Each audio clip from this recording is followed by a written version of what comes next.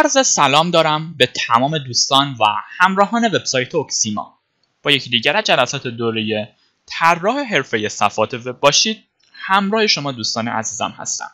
دوستان ما در جلسه گذشته در رابطه با سید و کلاس ها صحبت کردیم و در این جلسه قصد داریم در خصوص سید و المنت ها صحبت کنیم. این دو جلسه مکمل همدیگه هستن و همدیگه رو کامل می‌کنن. پس بریم سراغ PHP Storm و با مثال های pseudo element ها رو با همدیگه یاد بگیریم. بچه ها من در PHP Storm پروژه web design رو باز کردم و می‌بینید که به فایل ها و پوشه های اون دسترسی دارم. البته من به پوشه مثل image در این جلسه کاری ندارم و این پوشه ای هست که از جلسات گذشته ایجادش کردم. من اینجا یک فایل دارم تحت عنوان index.html که بازش کردم و محتویات در اون رو دارید مشاهده می‌کنید. که خیلی هم سند ساده ای هست یک سند HTML ساده هست که در تگ body اون من یک پاراگراف ایجاد کردم که مشاهده می‌کنید. یک پاراگراف خیلی ساده و به اون یک کلاس box رو دادم. حالا این کلاس box چی هست؟ ببینید من اینجا فایل style.css رو از دایرکتوری css یعنی این دایرکتوری ضمیمه کردم. ضمیمه این سند html هم کردم که این فایل میشه که من اینجا براتون رو بازش کردم.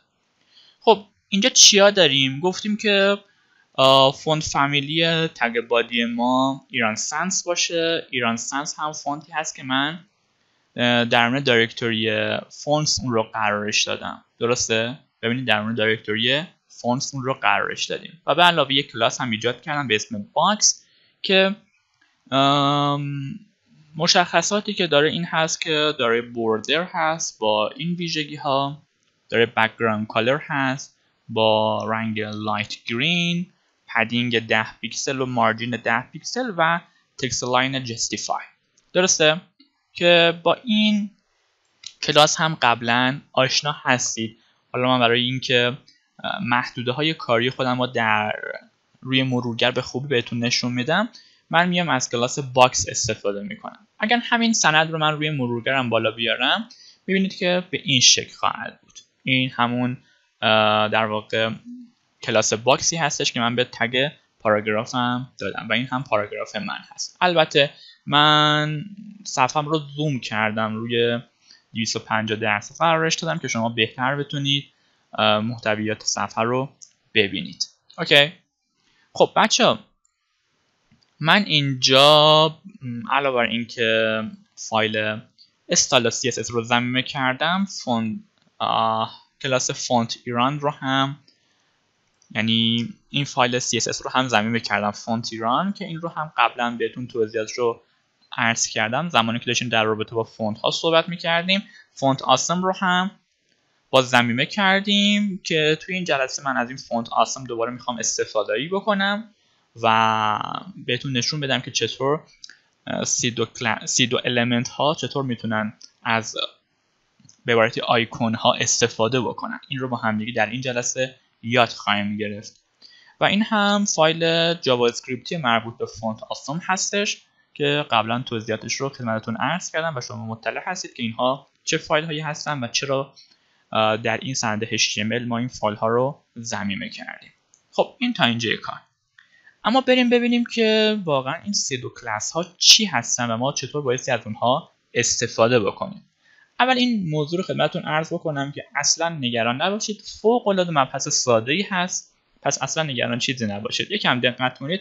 به همه مطالبش با یک بار گوش دادن به همین ویدیو مسلط میشین. از بس که این مسئله یعنی موضوع این جلسهمون ساده هست. اول برگردیم به مرورگرمون. بچه ببینید دوستان وقتی من میام این متن ها رو می‌گیرم ببینید اینا highlight میشن دیگه درسته؟ ولی highlight شدنش ببینید این رنگش آبیه می‌بینید؟ و وقتی من highlight می‌کنم بچه این نوشته ها رو فونت های من چه رنگی میشن؟ سفید میشن. background شون چه رنگی میشه؟ آبی میشه. درسته؟ خب آیا چنین چیزی روی مرورگر من اتفاقی هست یعنی اتفاقی همچین چیزی رخ داده که وقتی من یک متن رو highlight می‌کنم چنین ویژگی های روی مرورگر من مشاهده میشه؟ قطعا نه.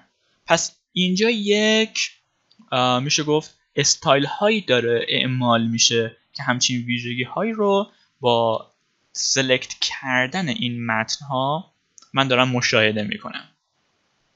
این یکی از موضوعاتی هستش که ما در بحث pseudo element ها اون رو دنبال می‌کنیم و بهتون یاد میدم که چطور ما می‌تونیم وقتی مثلا یه بخشی از یک متن رو ما می‌گیریم روی مرورگرمون ویژگی های خاصی بهش بده. یعنی به محض که من سلکتش می‌کنم این شکلی خب ویژگی های خاصی رو بهش بده.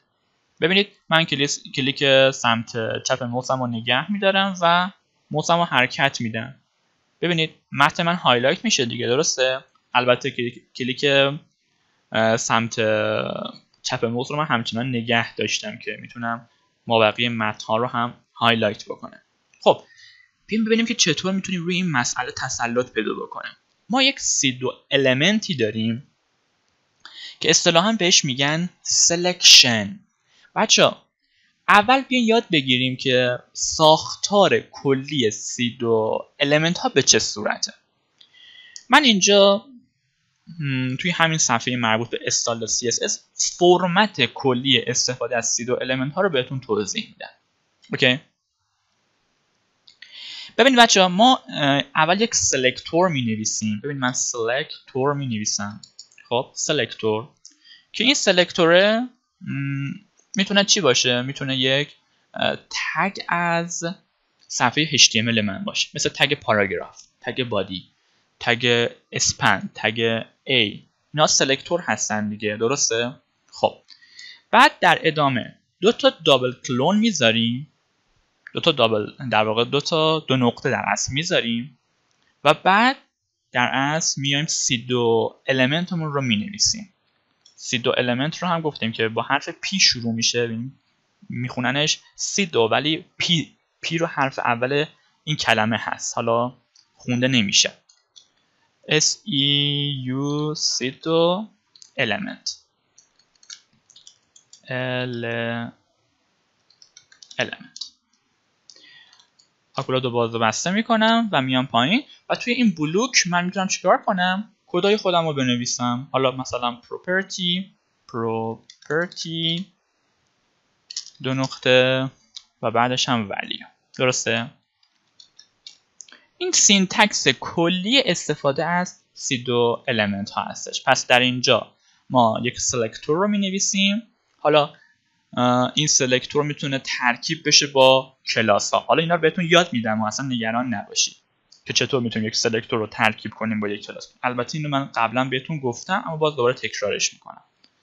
و بعد double colon می‌ذاریم و بعد pseudo element هامون رو می‌نویسیم و آکولادو یعنی آکولادو باز رو بسته می‌کنیم و بعد در این بلوکی که ایجاد کردیم کدای CSS خودمون رو می نویسیم دقیقا مثل این چیزایی که برای کلاس box نوشتیم. حالا بریم اولین pseudo کلاس pseudo element مون رو بنویسیم. ببینید بچه آیا این selector اجباریه؟ برای بعضی از pseudo element ها آره اجباریه. اما برای بعضیشون نه. شما می‌تونید اصلا هیچ selector هم نداشته باشین. پس یک ساختار دیگه برای pseudo element ها به این شکل هست. double colon pseudo element آکولاد باز آکولاد بسته. و بعد در اون این بلوکی که ایجاد کردیم در واقع کدای استایلمون رو می نویسیم به همین سادگی. خب اما اینجا چی می‌تونم بنویسم؟ بذارید من اینا رو پاک کنم و اولین pseudo element رو با هم تمرین کنیم. pseudo element ی که می‌خوام بهتون معرفی کنم اسمش هست selection ببینید دوستان من double colon رو می‌ذارم و بعد می نویسم selection به همین سادگی. آکولاد باز آکولاد بسته و بعد اینجا می‌تونم حالا کدای CSS خودم رو بنویسم. پس selection یک pseudo element هستش بچه ها پس selection یک pseudo element هستش. تکرار می‌کنم pseudo element هستش. اوکی. خب ساختارش رو دقت داشته باشید. من قبلش هیچ کنه سلکتوری رو هم قرار ندادم. اینو دقت داشته باشید. خب. اما وارد بلوک هم میشم و اینجا می‌خوام یک کد در اصل CSS رو بنویسم. می‌خوام بگم که وقتی من میام روی صفحه مرورگرم و بخشی از متنم رو سلکت می‌کنم بخشی از متنم رو select می‌کنم می‌خوام فلان ویژگی ها رو بهش بدیم. به عنوان مثال مثلا میگم رنگش رو رنگ متنم رو چیکار کن؟ به عنوان مثال میگیم که سبزش کن. نظرتون چیه؟ یا بگیم قرمزش کن. همین بهتر تو چش هست. پس میگیم قرمزش رو میگه چه کار کنه؟ font size ش رو بزرگ کنه چطوره؟ font size ش رو هم میگیم بزرگ کنه. مثلا بذارتش روی 25 پیکسل. okay ه. و background color ش رو چیکار کنه؟ مثلا background color رو هم بهش میدیم. background color ش رو هم می‌ذاریم روی به عنوان مثال سفیدش کنیم. نظرتون چیه بچه سفید بشه. پس به همین سادگی حالا با همدیگه میریم و این صفحه رو refresh ش می‌کنم. حالا با همدیگه من یه بخشی از این متن رو می‌خوام select کنم. خوب نگاه کن چه اتفاقی داره میفته عوض شد. بچه استایلی که به صورت default روی مرورگر من بود عوض شد. و دقیقا همون چیزی شد که من اینجا برای selection تعریف کردم. رنگ ها قرمز داره میشه font size داره به 25 پیکسل تغییر پیدا می‌کنه و background color هم داره سفید میشه. می‌بینید؟ البته من چون اینجا صفحه رو زوم کردم font size من عمل نمی‌کنه یا اینکه آها من یک font size دیگه روش اعمال می‌کنم. مثلا میذارمش 10 پیکسل. ببینیم که نتیجه به چه صورت هست. آها. اینجا یک نکته بسیار مهم وجود داره. ببینید بچه شما هر کدی رو نمی‌تونید درون pseudo element ها بنویسید. اینو دقت داشته باشید. پس اگر می‌بینید که کدی رو درون یک pseudo element می نویسیم و اجرا نمیشه تعجب نکنید. نکتهش اینه. pseudo element ها هر کدی رو نمی‌تونیم درون بلوکشون بنویسیم. پس هر کدی درون بلوکش نوشته نمیشه.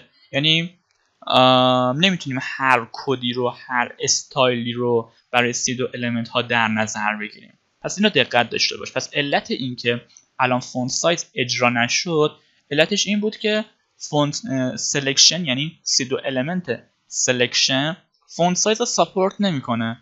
ولی مثلا color رو support کرد. دیدید که support داره می‌کنه. background color رو support کرد. می‌بینید؟ به این شکل. اما font size رو support نکرد. و این رو بایستی بررسی کنیم ببینیم که چه در واقع استایل هایی از طرف selection پذیرفته میشه و چه استایل هایی پذیرفته نمیشه. OK اینم از این. پس اولین pseudo class ببخشید اولین pseudo element میشه selection که در اینجا توضیحش رو خدمتتون عرض کردم. اما با همدیگه میریم اینجا پایین همین پاراگراف من یک div ایجاد می‌کنم بچه ها ببینید div. و درون این div من میام یک lorem lorem ipsum ی قرار میدم. lorem به این شکل یک متن lorem ی رو قرار میدم. و به همین tag div م هم یک class box رو میدم. چطوره که محدودش رو راحت بتونیم ببینیم. یه خورده بین این هم فاصله میندازم که شما راحت تر بتونید کدا رو از هم تشخیص بدید. حالا یک بار دیگه من صفحه رو refresh ش می‌کنم. و اجازه بدید من یه خورده صفحه رو هم زوم کنم که شما راحت تر بتونید کدها رو ببینید مطالب رو ببینید. بچه ببینید من اینجا اگر اینجا هم highlight رو انجام بدم می‌بینید روی این, این div هم هست دیگه. این پاراگراف بالای این پایینی div هست. باز می‌بینید که اینجا داره عملیات selection با همون استایلی که ما تعریف کردیم اعمال میشه. یعنی نه تنها روی این پاراگراف بلکه روی این div هم داره استایل مورد نظر ما برای pseudo element selection داره عمل می‌کنه. حالا بیایم قبل از این دابل کلونی که اینجا داریم مثلا بنویسیم P. یعنی از سلکتور P استفاده بکنیم. ببینیم که آیا این مسئله تاثیر می‌ذاره روی صفحه ما یا نه. خب من صفحه رو رفرش می‌کنم.